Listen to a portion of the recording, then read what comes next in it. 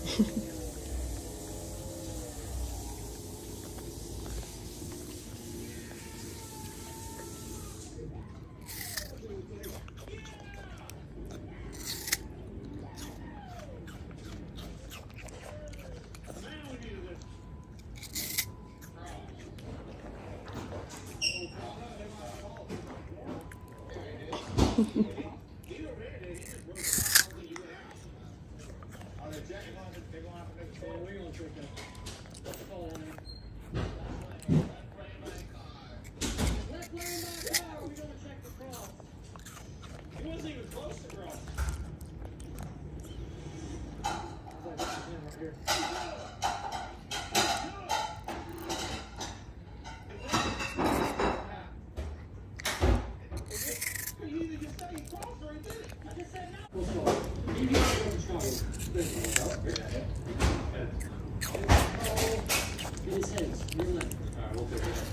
right. You're going.